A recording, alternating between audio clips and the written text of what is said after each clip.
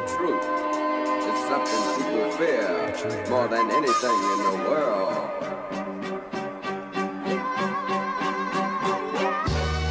Hey, Shad, this what they want? Yep, Don't give them something they ain't expect. yep. And I don't think you feel that shit. Hey, hey, hey, hey. Okay. Is you about to come correct, my G? Yep. I don't think they know what you doing for. Doing this for the one time.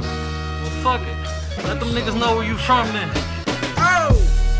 What a time to be alive. In this generation, mumble rappers can't survive. And everybody nowadays just need a wave to ride, cause they go with the flow. Check it, I'm from the D town, home of the Pistons. Yeah, they got some rings, but the Lions ain't never winning. I'm just kicking facts to you, but I'm still representing, cause that's my home. And now you know.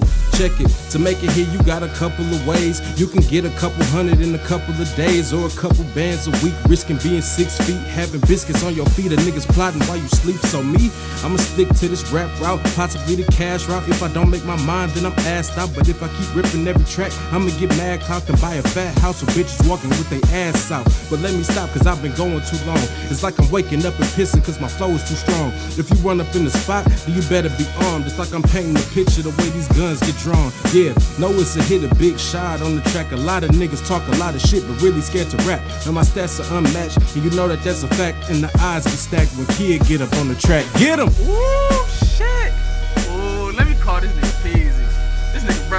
Shit. Oh, shit. We had to pull out this last trick before, you know, we get up out of here, man. Thanks to the CEO, co-CEO.